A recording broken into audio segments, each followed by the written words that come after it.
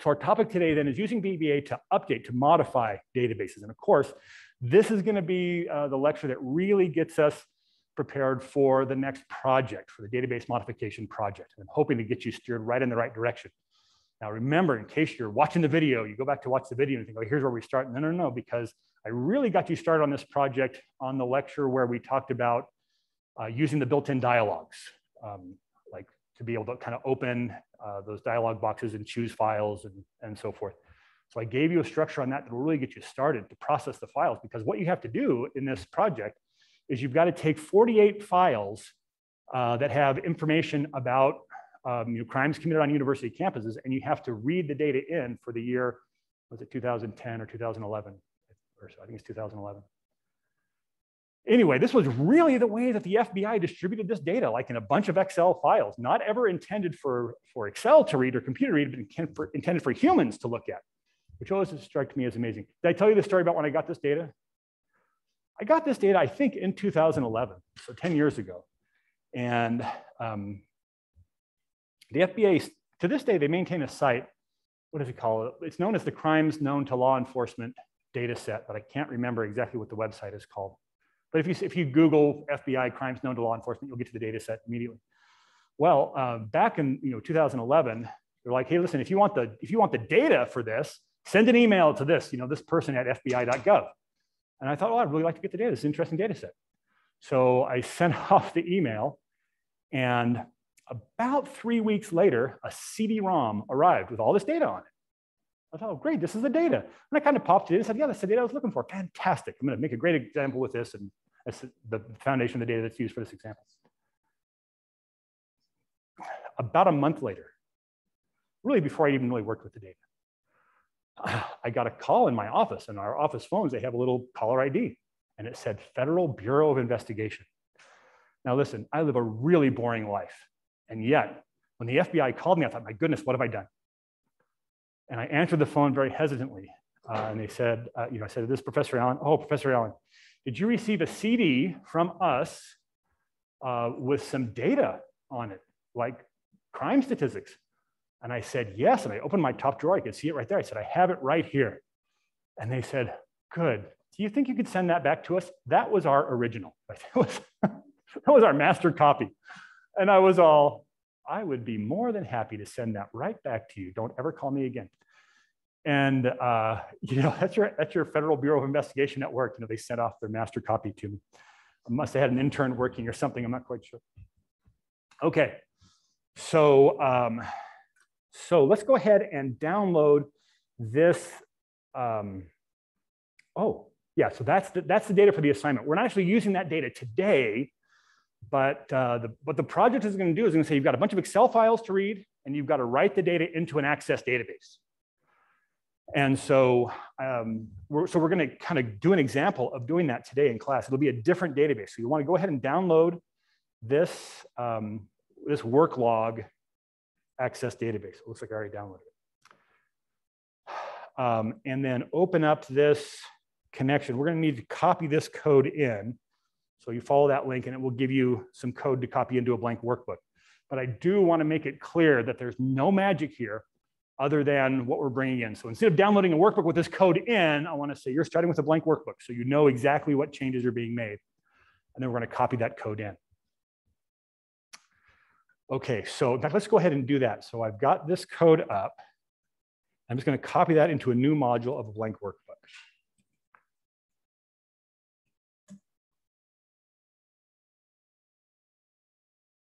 So we're okay, you know, edit, I'm sorry, uh, file, uh, I'm rather insert, I don't even know how to insert a module, insert module.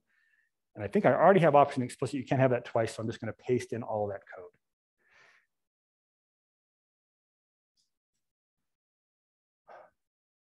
And then once we've got that code pasted in, we're gonna save the workbook. And we wanna save the workbook in the same location where you downloaded the Access database. Um, because this code here is going to, um, it's going to it's try to figure out where the database is by looking at what the path of the workbook is. It's going to start with the path of the workbook and assume that's where the database is. I'm going to go ahead and get that saved. I just did this in my downloads folder, so you can do that same thing. or wherever you, wherever you download it. Make sure you save it as an XLSM. And this will be right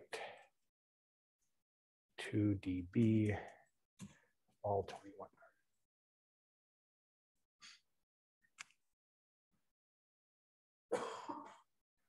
Okay, so I think we've got uh, the Excel workbook uh, set up. Any questions, or is there anyone saying, "Hey, I'm, I'm not quite there, not ready, not quite ready to go along. I'm getting close." Okay, so we're ready. We're ready to move forward. Okay, so remember that these these objects, the connection objects and the record set object, they're not built into Excel. They're not loaded by default. Uh, so we have to tell VBA that we're going to use them. And we do that, put the little comment up here, go to Tools, References, and the micro, Microsoft ActiveX Data Access Library. So I'm going to do that right now. Tools, References, and then I'll scroll down to where I find Microsoft ActiveX Data Objects Library. And there are lots of different versions, 2.0 up through 2.8. I'm going to go to 6.1, which is the most recent one for me. I think as I make sure I put the checkbox, not just click the line, but I got to click the checkbox.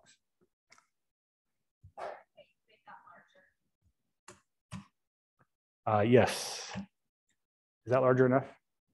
Do we need to go back and kind of see the choices as well? So uh, you choose tools and then references, and then we're looking for this one. Is that big enough? I can go bigger. Ooh. Is that one? A little more? Okay, anyone else?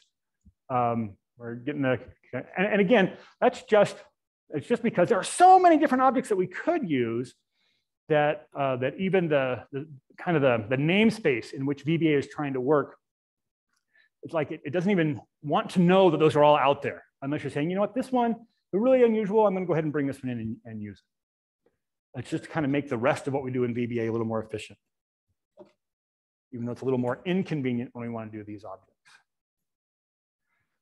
Okay, so we're going to pause here for a second. We're going to go back to the blog, and hopefully this link will work for you. I had some trouble with it um, here, but if you go to the online query link, I'll kind of talk you through what we're about to do. Uh, online query. And this should take you to a page that's kind of already configured and has credentials put in so that you can execute and ask for some data. So just click the submit button and that will say that's the query you want to run and it, the SQL statement that you want to run and it will bring this back. So here's the context for the example that we're gonna work in class today. You're gonna suppose that you're you know, working for the HR department you know, for some company that you know, kind of when we hire people, we wanna know how good they are with Excel. Um, and have you had this kind of a project where you, you, you, uh, uh, you applied for a job and they said, great, you know, you made it past the first level.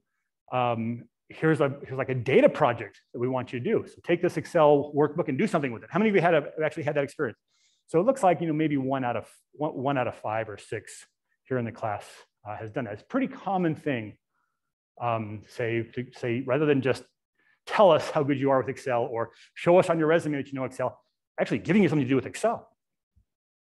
And so what we're going to do today is we're going to say, all right, suppose that that's what we're doing. We're giving um, you know, potential applicants a task in Excel. But we don't just want to see what they come up with. We want to see how they did it. We want to see step by step what they did to accomplish this workbook. Uh, and so we're going to kind of, kind of wire up Excel to be able to do that to, to record every time they make a change to a single cell in a workbook, we want to log that.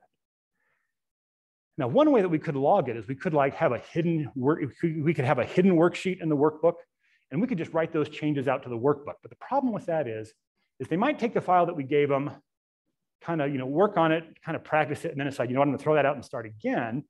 And we would like to know everything that they did kind of to get here. And so instead of just logging it locally, every time they make a change to a cell, we're gonna, uh, ever since COVID, I can't snap anymore. I'm not sure why. It's an unknown side effect. Oh, yeah, you're showing off now. Okay. So, but every time they make a change to a, to a cell, we want to write this to a log in the cloud. We want to be able to say, yeah, you wrote that so that, that even if they don't ever turn in that workbook that they started on, that we'll still know kind of all the process. We want to see the missteps that they made. How long did it take them to kind of work through it? So we're looking for some deep analysis here. And so that's what this is, what we're seeing right here. Uh, how many records do we have? Not very many. Um, but the idea here is at a particular time, we want to know what the username is. We want to know what the uh, what the workbook they're working on is, what sheet they're changing, what cell they're changing, the formula that they're putting into that cell, and the value that is going into that cell. That's, that's what I would like to be able to record. And so this is, this is it, right? From VBA, we're going to be pushing data into a database, right? So that's what we're after. Ah, all right. So uh, by the way, there's another table here. Select star from besides work log, there's one called applicant.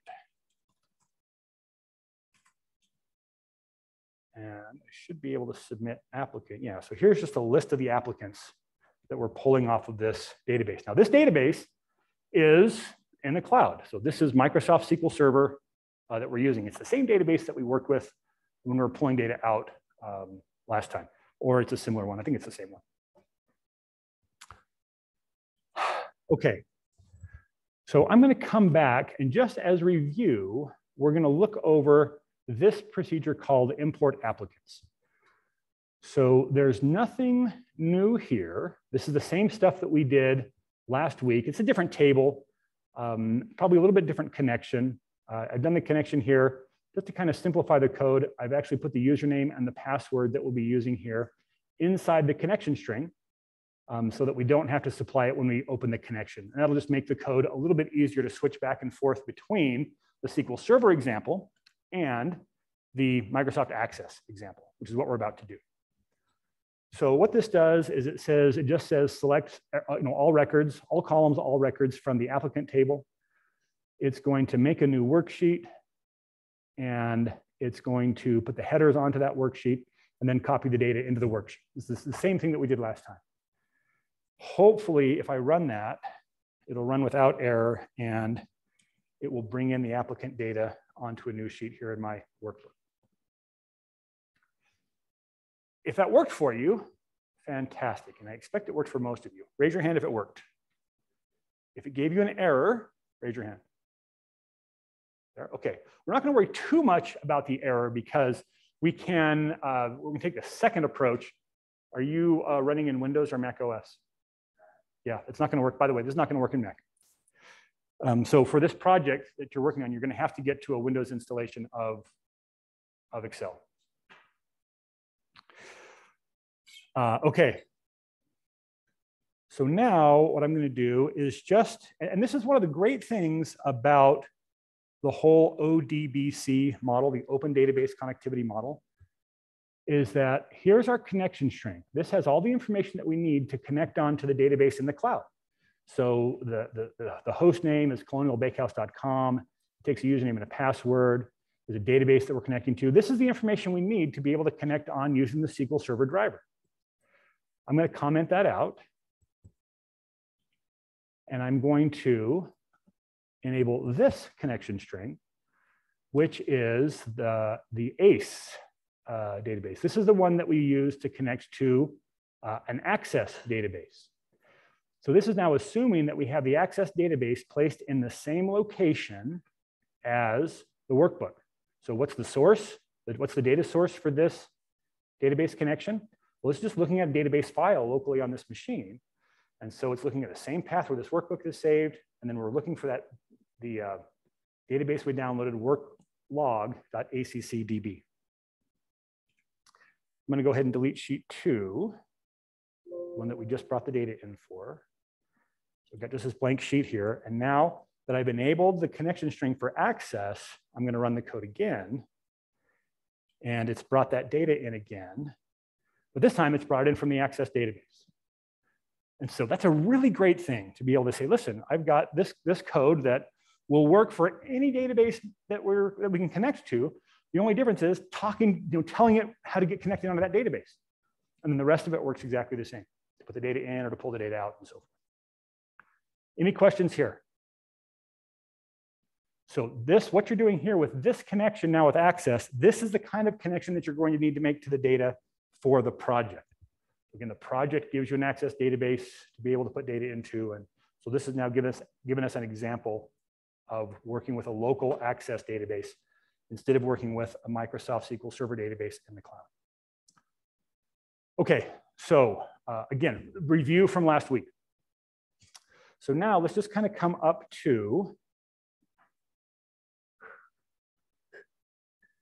let's come up to uh, record edit. Now, ultimately, what we're going to do, you remember working with user forms, how we could say we want some code to respond to when an object receives an event.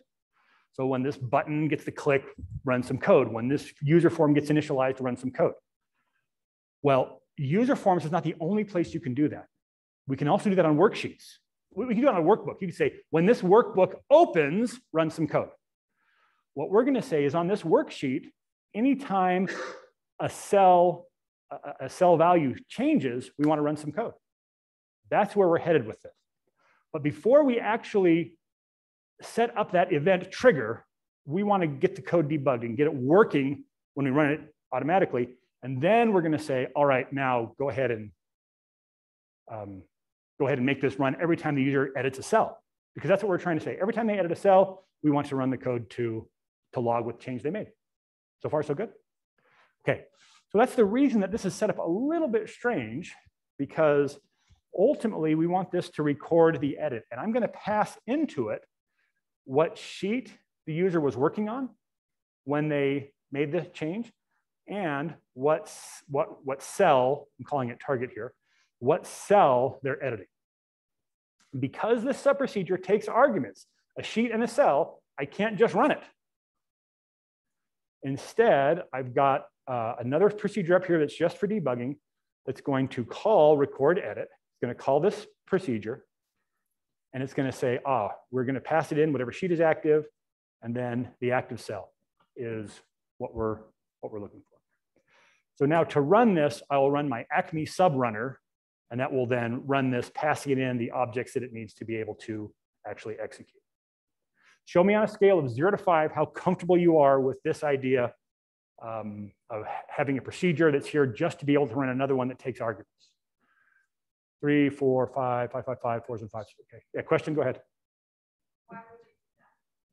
why? Yeah, why would you set it up that way? Oh, oh yeah. So the reason that, that it's set up this way is because when we get to the part where we're saying we want this code to automatically execute, we're not going to know which sheet the user's on.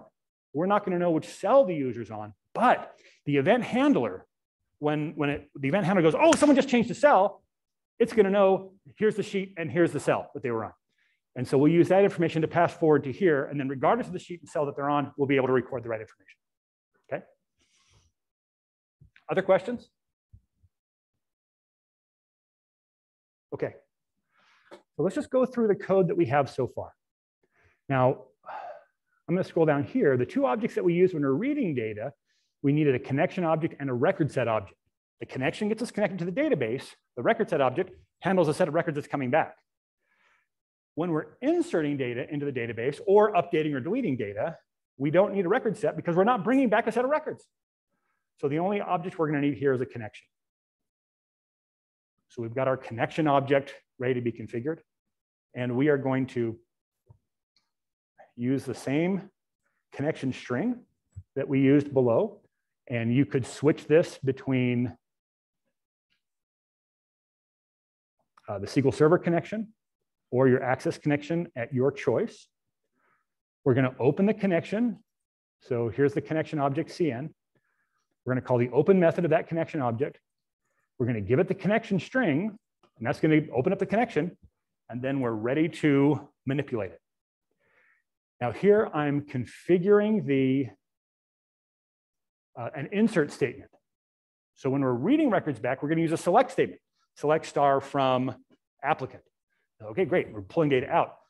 It's a different command, a different structured query language command to put data in. This is called the insert statement.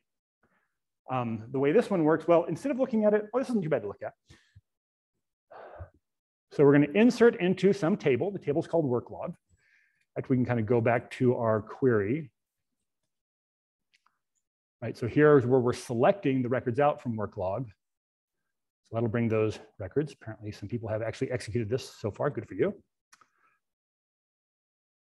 So we're gonna insert a record into work log and we're gonna tell it the columns that we wanna supply values to. So we're saying we're gonna supply one, two, three, four, five, six, one, two, three, four, five, six, six values. We're going to give it a username, a workbook, a sheet, an address, a formula, and a cell.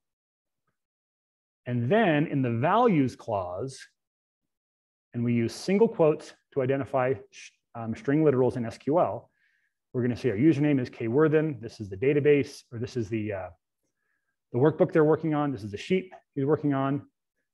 This is the cell. This is the formula, and this is the value that it's producing. So they're going to line up one for one. Username is here, workbook is whatever value I'm putting here, sheet. And so when this statement makes it to the database, and we don't have the code to put it to the database yet, but when this statement gets to the database, then it's going to accept that record as long as it meets all the restrictions, right? It's got to make sure that um, you've got all the data you need, it's the right uh, type and so forth. Go ahead. So uh, insert to work log, are those the headers within our database? So it's like letting That's right. So right, you're talking about this right here? Yeah, it's actually called the column name in the database. Yeah, in fact, if we look at the, if we look over here, we'll see those same things, username, workbook, sheet, address, right? Username, workbook, sheet, address. So those are the columns we're putting the data into. Now, we're not giving it an event ID or an event time, and that's because the database does those automatically. So when you put the data in here, it's going to record the time. It's going to record, you know, what event number it is. But all we're doing right now is we're opening a connection, we're setting a, a string variable, we're printing out that variable, then we're closing the connection. So we're not actually trying to change the database yet. That's going to be the, the, the, the context for today's example. But what I do want to do is run this, and maybe instead of a kworthen I'll put my own in here. And I'll run that. Uh, now, of course, when I try to run that, it tells me, hey, you can't run this because you got to give me arguments to this one, which is why I try to name my function to actually run this function with something that's alphabetically smaller than anything else so that I can just click run without having to click which one I want to run. now the whole point to this point is just to get that insert statement. Feel free to do this along with me or not do it along with me. Either one is fine. But I'm going to come in here and paste in that statement. I will separate these statements with a semicolon. So if I run this, it'll first do the insert, then it'll select this information back. But the point is now that I should be able to see that I have executed that, that statement just here through the web interface, and it's put that record in, right? So 335, user Allen, G Allen 2, and then the rest of these have come in. And it looks like several of you have been successful uh, at doing this uh, including some of you have been successful using my name here, which is okay. All right, in fact, one of those might have been me, I don't know. Okay, how are we doing so far? Any questions? Yes, go ahead.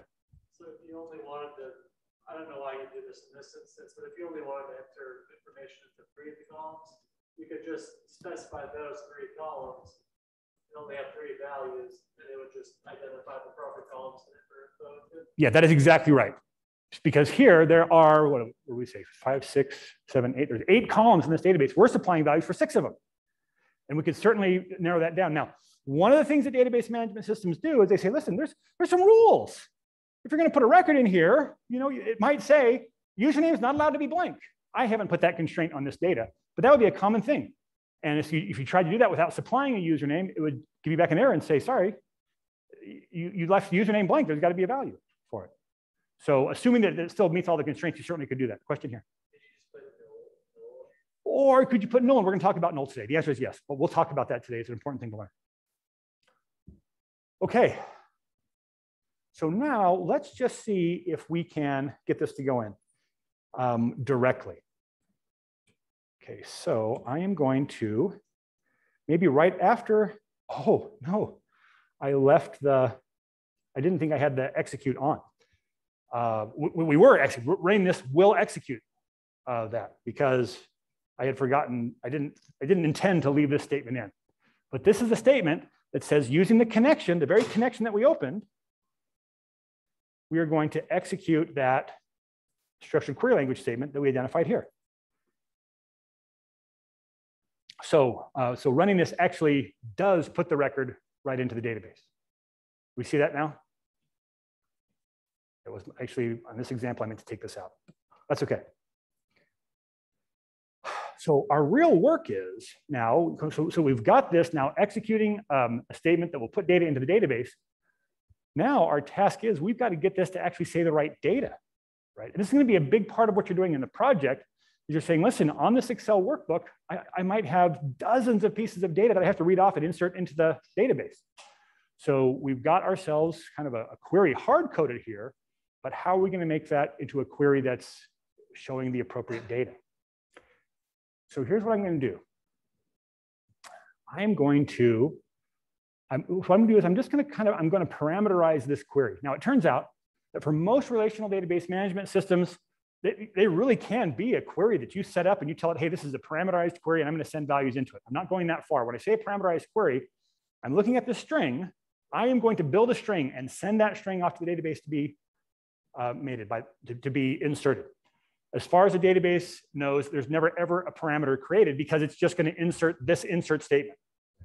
But to help me get along the way, I'm going to say, listen, instead of having the, the name hard-coded right here, I'm going to put a tag in for myself. And I, this is now completely arbitrary. I could do whatever I want, but I'm going to put it inside of angle brackets, and I'm going to call it username.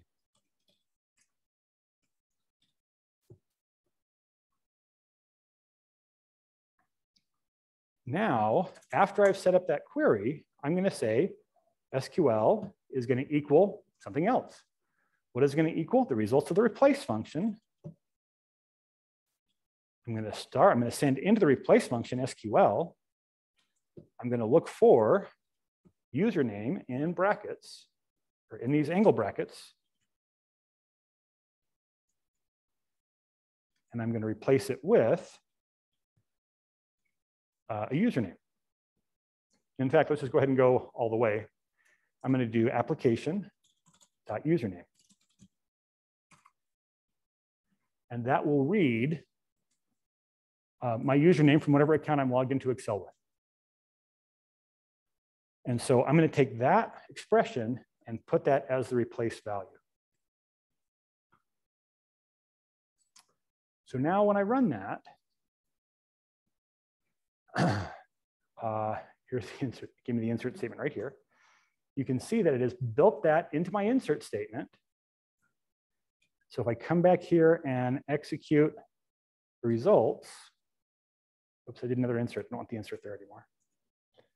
Then we should be able to see that. Now, whoever did this, you, you left it inside quotes.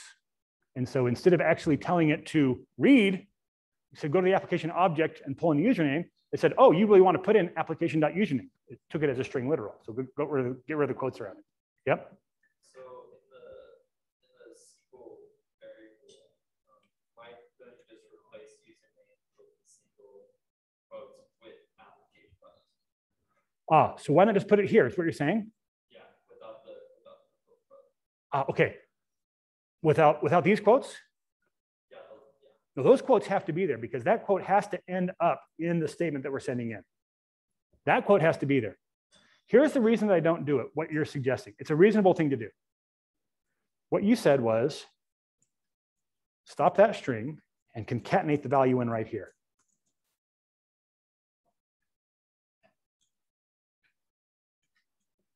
This will do exactly the same thing. The reason I'm not doing this to you is because this is going to get ugly. Because I've got here a double quote right next to a single quote, and it's going to get really hard to follow. And so what I want to do here is I want to leave this as simple as possible. And then I'll have other lines that kind of come and do, and do the modification. but you're absolutely right. That approach would work. And it's, and it's a much more common approach that you'll see in examples. If you go to the examples to people doing this, that's exactly how they'll do it. And the code is really difficult to read. Okay, well, let's just go ahead and change the rest of these. Let's put some more in here. So this is going to be the name of the, of the workbook. So I'll just call this workbook. Woke book. Whoops. W O R K. You get my political leanings, I guess, now. Woke book, workbook. And I'll do the same thing down here. We're going to replace workbook with what? This workbook dot name.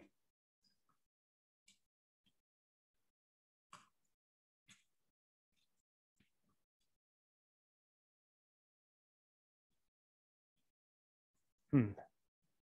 All right, the rest of these are a little bit, we actually have to get into what's being passed in to these to work. But I'm gonna run this one, make sure this works okay.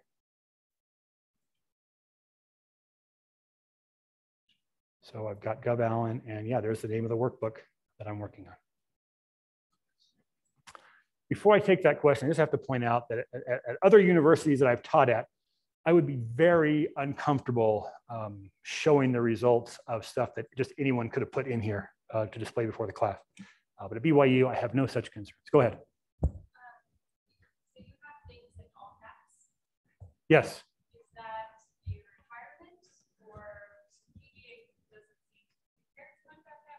Yeah, so so so the question is, hey, how, how come it's in, in all caps?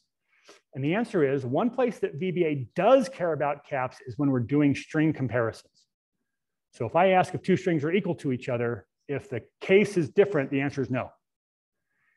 And so here, I, I want this to kind of stand out to me, is why I put it in all caps, is because I want to be able to look at that and, and kind of visually go, ah, that's a tag that I'm going to have to replace. But whatever I put here is totally arbitrary.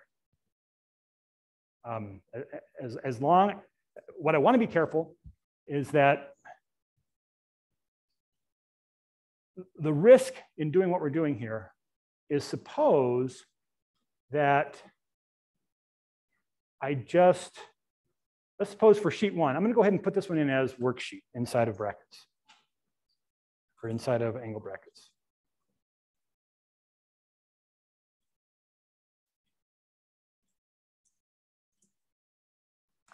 But let's just, let's suppose that instead of doing that, I had just put in um, Z. I had just put in sheet.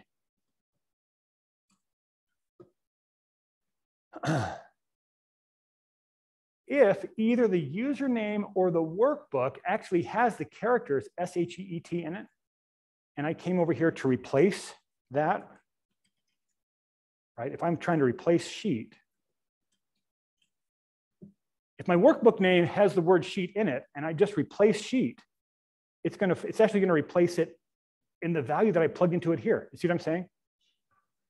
Once I, once I replace this with the text, whatever text is there is now potentially ready for me to, to replace the next time I get here. So what I use here for my, um, my tags, I want it to be stuff that I'm pretty sure is not going to show up in the actual data that's getting replaced before we get here. Otherwise, we could inadvertently um, change something separate. We could, we could change we could change something that we'd put in in a prior replace statement. It was probably not the best explanation I've ever given on that. How are you feeling with this idea of inadvertently replacing some data that was put in by a prior replace statement? okay, looks like you got it, even, even though my ineptitude kind of, I felt pretty, pretty inept about that. Okay, good. All right, now the sheet name whew, where are we gonna get the sheet name? Well, SH is the worksheet object that's getting passed in here, right? I'm passing in the active sheet. So I should be able to use that variable to read what the sheet name is. Just sh.name.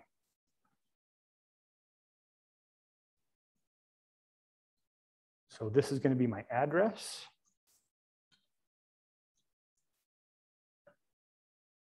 And what's the name of the, of the range I'm setting in? It's called target. So we'll have a similar one here for address.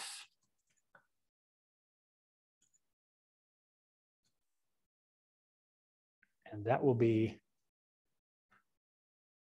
target.address.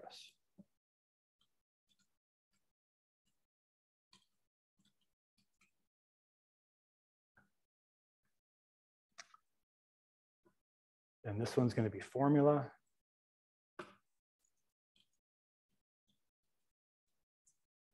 And I'll do value while I'm at it.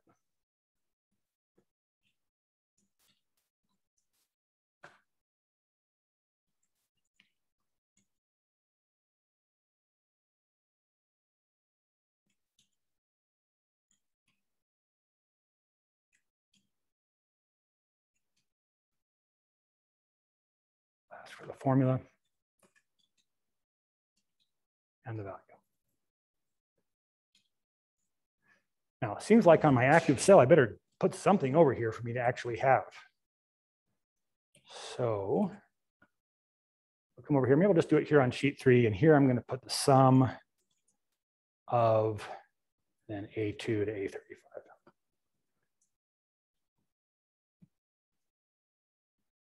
So I'll make sure that that's my active cell because right now the code is saying we're going to record that information about the active cell.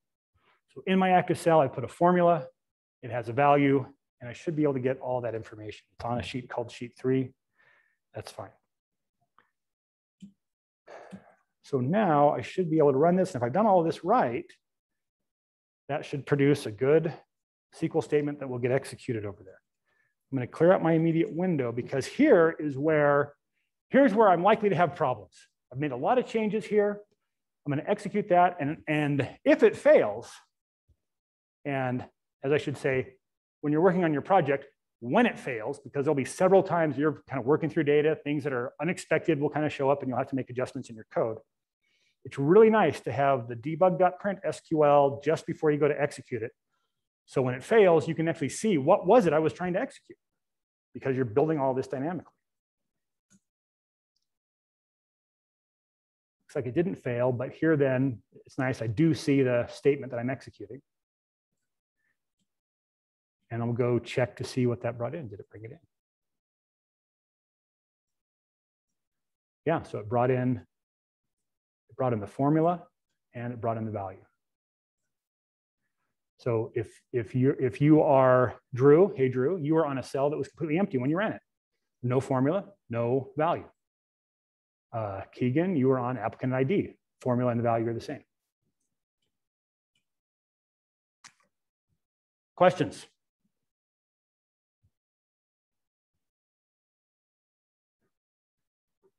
Now, as I look at the addresses that this is producing, and this is just the way that the address property does, it's got these dollar signs in it.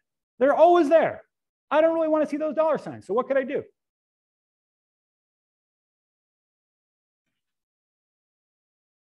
What can I do to get rid of those dollar signs?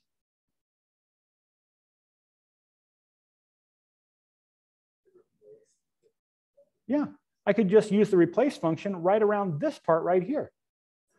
So I'm going to sneak that right in here. Like maybe I'll, I'm going to, uh, I'll just do the replace. I'm going to replace looking at target.address. And I'm going to Usually I like to put in the syntax first before I think about it. Otherwise I forget putting a comma or a semicolon or a uh, closing parenthesis. I want to look for the dollar sign and I want to replace it with an empty string. So quote, quote. So now what am I going to replace the address tag with? Well, whatever the target's address is, but we're going to call the replace function to take out any dollar signs there first.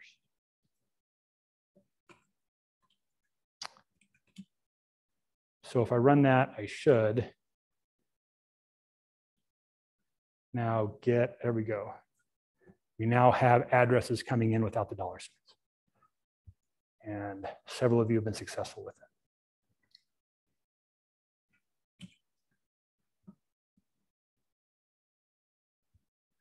All right, let me do this. I'm going to come back and put a different formula in here um, and let's say, this will be kind of an interesting one. I'm going to say this is going to be, um, I'm, I'm to write some text here. So this is going to be the name of this person, and then I want to put an apostrophe S on the end of it. So I'll concatenate on quote, and then a single quote, S, close quote. I'll put a space after that as well. So we'll do Mariano's space, concatenate onto that um, uh, number. Mariano's, oh, actually, Mariano's, I'll put the number here, N-U-M-B-E-R, colon. And then I will concatenate onto that, actually, Mariano's telephone number. So that's the value that I'm going to uh, expect to see for that particular cell. I think I want a space after the colon, not that it's that critical. But so now this says, you know, Mariano's telephone number. I would like to insert that into my database. So I'm going to come back here and run this again, but let me go ahead and clear off my immediate window. I'll run it.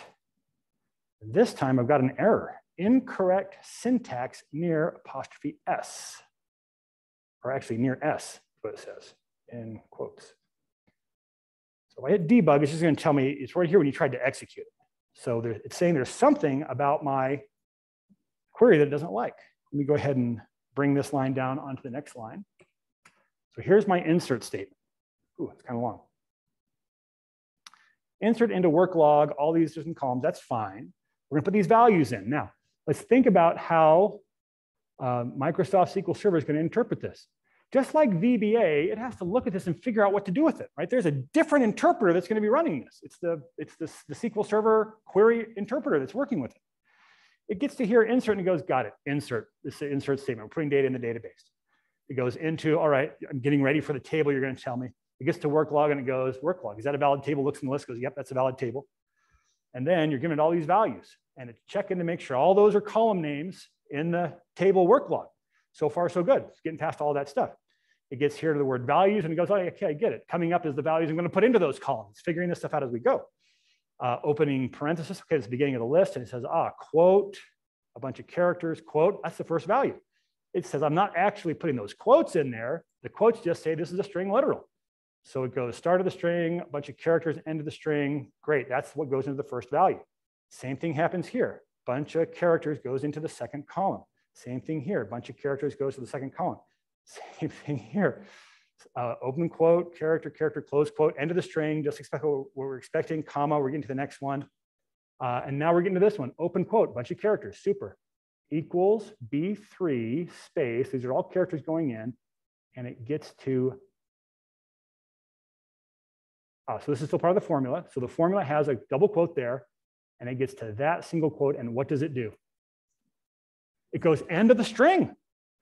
I started with a quote, and I got to that quote, that's the end of the string, and then it gets to that right there. What is it expecting? Here, what should be the next character? Comma. It doesn't see a comma. What does it get? An S. And so that's why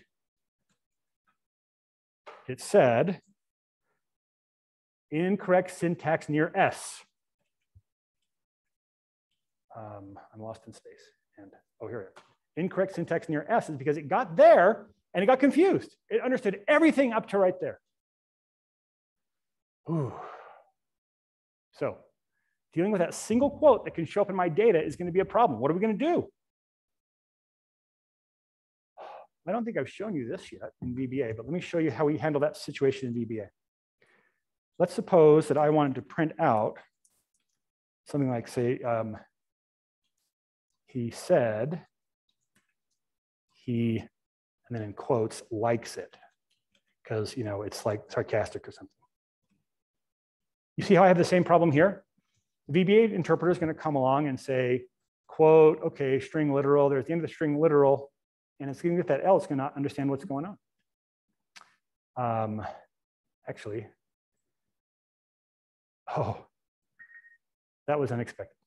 Let's try to put that into a variable and then see if we can print it. Let me uh, go put this in code. I think that's the I think that's the print statement, being able to take things a little more complex than, than normal. Don't do this along with me, just watch this.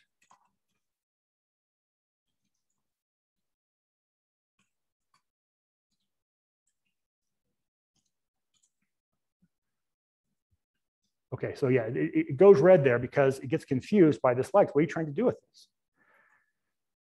So how do I tell it? No, no, no, no, no. This is not the end of the string. This is just a quote character in the string. Any thoughts? Ah, in some languages, you could say, oh, you know what? Just come out here and do single quotes out here. Like JavaScript will let you do this. Python will let you do this. And then it would go, oh, this string is delimited by single quotes, so the double quotes are okay in it. But what's the single quote character mean in VBA? That's a comment. Every single person who took the test got that question right. Um, that's good. I know you knew that. So we have to use, the only delimiter we can use to do string literals in VBA is double quote. So single quote doesn't do it for us. It's weird. Here's what you do. Instead of putting in a double quote, you put in two double quotes, quote, quote. And here's, here's what happens. You do debug.print of x. It says, all right, quote, beginning of the string, super, H-E-S-A-I-D, all in the string. It gets to that quote and it goes, I think that's the end of the string, but wait a minute. Let me peek ahead and see if the very next character is a quote. And if it is, then I go, oh, that's not the end of the quote. That's not the end of the string. That's actually just a quote inside the string. So there's a quote, L-I-K-E-S. Oh, here's the end of the string. Oh, wait a minute. Let me check. Let me peek. Oh, nope. It's not really the end of the string. It's just a quote inside the string. And it gets to here and it gets to that quote and goes, let me, that's the end of the string. Well, wait, let me check. And it says, oh yeah, there's nothing else after that. That's the end of the string. So when I run this, uh, that's when I run this. Yeah, so then it actually puts those quotes as a part of the string literal. That seems strange to me that you just put two of them in a row. But it's a common thing that they did in programming back in the day.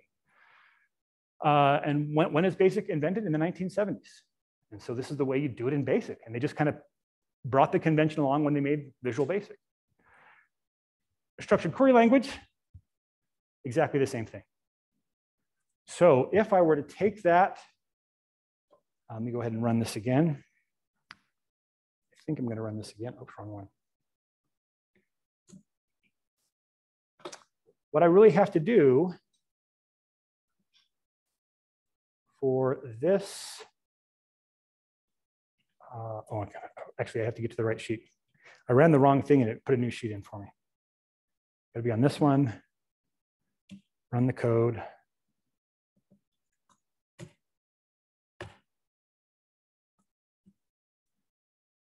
That's fine. Bring the values down so we can see them. What I really have to do is I've got to turn that into two single quotes in a row. And then it will take it just fine. So how are we going to do it? Yep. Yeah, we'll use the same replace. Now this one, because I know that we're going to do something a little more complex with the formula, rather than just do it in line, like we did it here, I'm going to set up a separate variable for it because there's a couple more there's a couple more things I'm going to want to do with formula in particular as we're building this out. So I'm going to come up to my dim section. I'm going to dim formula as string.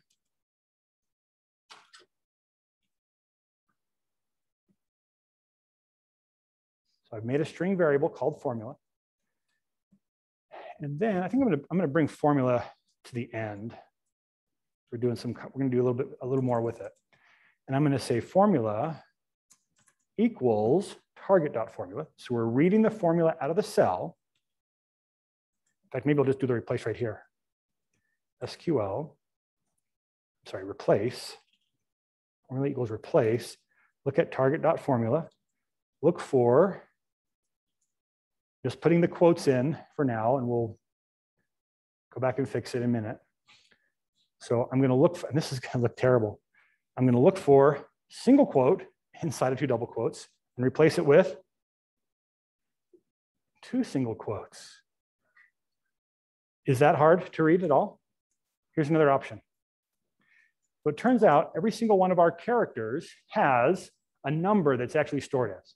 So if I was to look for character number 65, we'd go, oh, that's capital A. Uh, capital uh, B is character number 66. So there's actually a numeric representation for each character. uh, character number 30, is it 34 or 39? 34 is a double quote. I think 39 is a single quote. Yeah. So that's another way to say single quote. So I could, another way to do it would be to say, look for character 39, single quote, and replace it with character 39 concatenated with character 39. Two single quotes. Which way do you like it better? Character number 39 or kind of quotes inside of quotes? Who says character 39? Who says quotes inside of quotes? Oh, a few of each. Excellent. Okay, so now I'm going to go ahead and put the formula in here.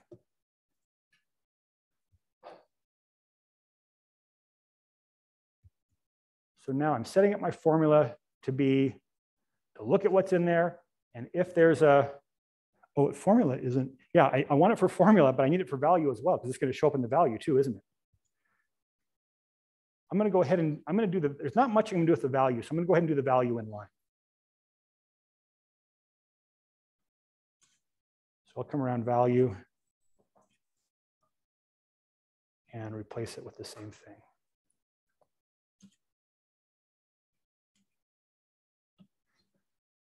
Oops.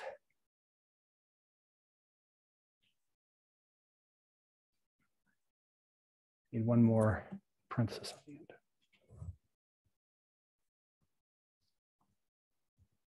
You'll see why I'm treating formula separately here because there's one, there's one more thing I'm gonna want to do with the formula variable as we're working with it. All right, I, I, if I um, am correct here, I think we're in good shape to run now. I should be able to run this. It runs without error. I should be able to see that value. Yeah, so the formula has a single quote showing in there and it says Mariano's number.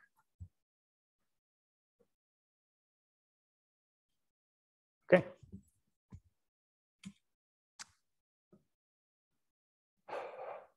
Zero to five, how are we doing so far? Just show me. Five, five, five, five, three, five, five. Okay, thank you. Now here's what I'd like to do. You'll notice that when we don't have a formula in the cell, what does the formula property give me back? If there's no formula there, I kind of wish there was no formula, it would be null. But it's not. If I ask for the formula there's no formula, what does it give me? It just gives me the value that's in the cell which I guess in a sense, that's the formula because it's just what you typed in there. Okay, so it's reasonable. That's the way they chose to do it. But I'm saying, no, no, no, no. If there's no formula, I want the formula to be empty. So I really want to, I want to be able to look at this and say, uh, the formula matches the value. And so uh, I'm not going to put the formula in. I'm instead going to say, leave this cell blank. You ready for this one? This one's a little bit, a little bit more complicated. There's a few, a few more moving parts here. okay. So in the case when I want to not show a formula, it's when the formula equals the value. So I'm going to come here and put an if statement. If my targets, this is before I've changed, well, I'm never changing the target formula. I'm just going to say if the target formula, remember target is the parameter that's getting passed in here for the range. It's called target. It's the target cell that's being changed.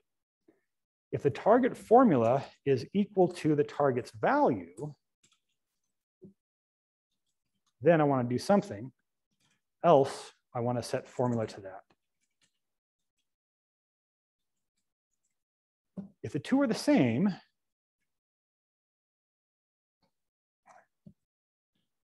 and I'll show you what I want to do. I'm going to copy my last statement that worked well. And I'm going to come and so I'm going to open up another one of these windows. I'm going to put this insert statement in, zoom in a bit, I guess. So what I'm going to do is for the, in this case, I really don't want to put the formula in at all. I do want the value to show up. Oh, so yeah, let me simplify this. Let's just say instead of it actually being a formula, it's just you know a value of say 100 or 1000. Okay, and so here, what I really want to have here is null, N-U-L-L. So null is a reserved word in structured query language that says no value. It's different than a zero length string. Quote, quote would be a zero length string. If I think about in memory, we learned about VBA, how much memory is allocated for a zero length string? I know this is something you might have thought about for the exam, but haven't thought about since. What is it? Okay, it, it actually depends on the variable type. It's a string variable. So it's a string variable, uh, and there's, there's four bytes of overhead for every string. And so a zero length string takes four bytes to be able to record. Null is the absence of any value altogether. And so even though a zero length string looks a lot like no value, it really is something. Kind of the same thing in the world of database too. So um, could I put in here, quote, quote? Yeah, it would take it. But that's a zero length string. It's not the absence of a value. So we really want this to say null, N-U-L-L. So I should be able to run this and then run this. And we should see, yeah, so there's no value here.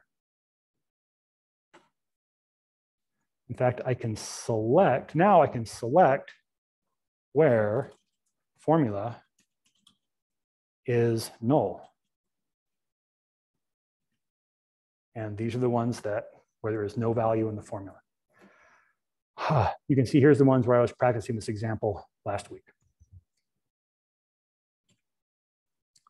Okay, so what shall I put here? If the target equals the formula, what should I do? Down here, if they're not equal to each other, I'm going to say the formula is going to be, let's just go ahead and replace, make sure we don't have any single quotes in the formula.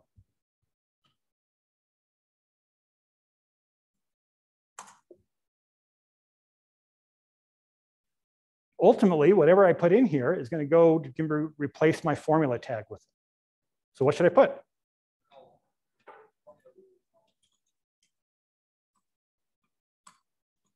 Uh, formula equals, now here's a problem. It turns out null is also a reserved word in VBA. And in VBA means the same thing, the absence of a value. Am I allowed to do this? Can I put null into a string? I think I can. This won't, the, the, the SQL this generates definitely will not execute. Let me just see if that is even syntactically valid. Yeah, it takes it just fine.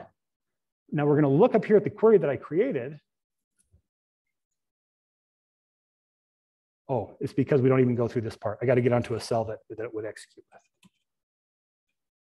I come over here to just uh, a value that's going to match.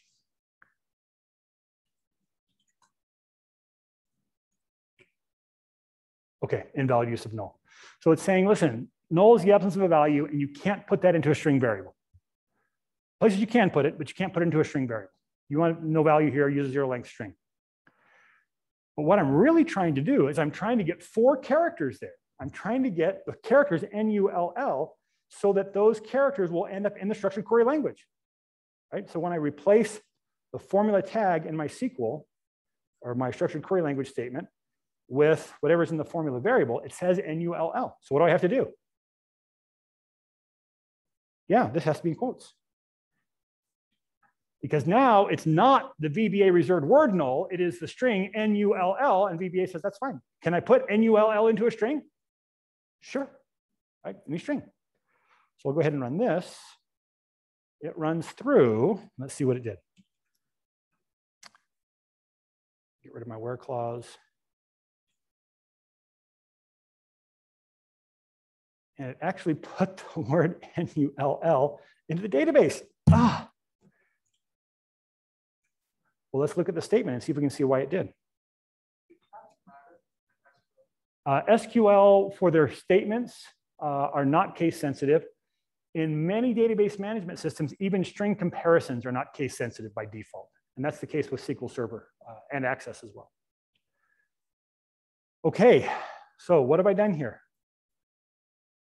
You see the problem?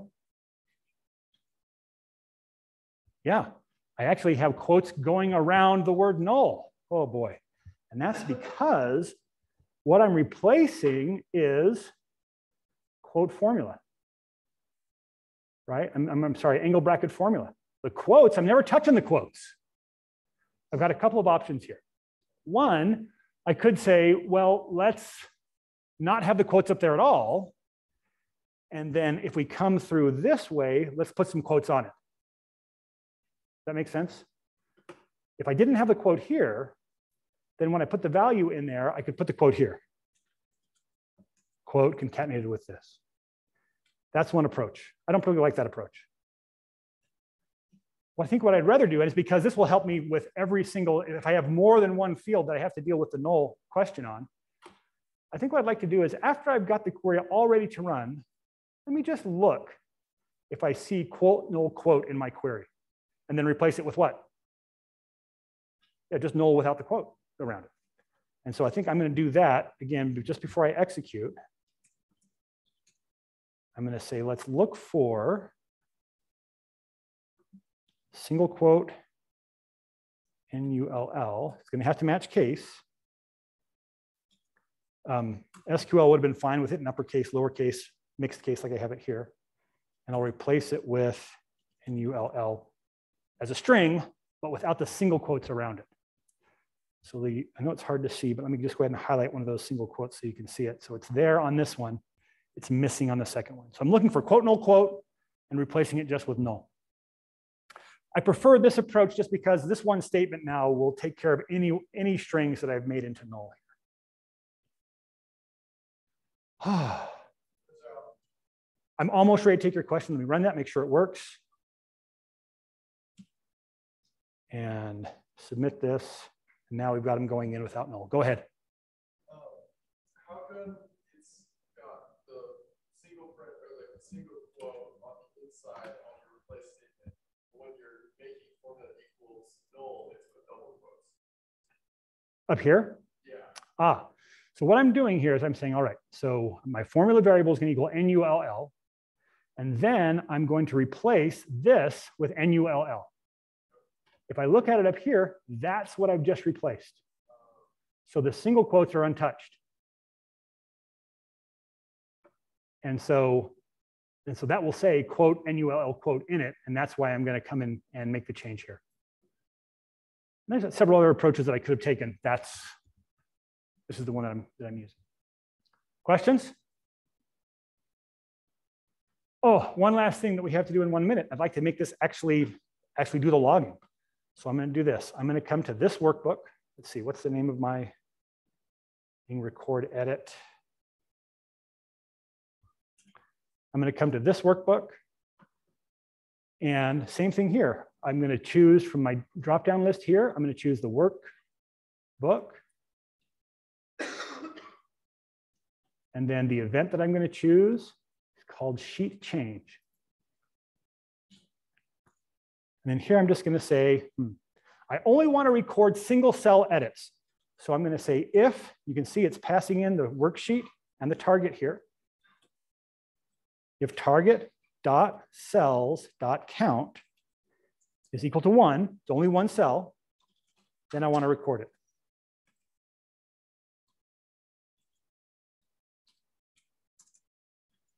So I'm going to record edit. I'm going to pass it sh and target. So the same things that are getting passed in here, I'm just going to pass along to my record edit. That should do the trick. This should now be logging every change that I make up to the database. So all of those are going in.